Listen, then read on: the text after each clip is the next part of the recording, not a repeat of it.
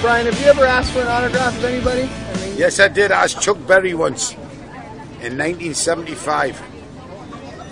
and how, how was Chuck? He was the biggest piece of shit I've ever met in my life. the rudest man I've ever met.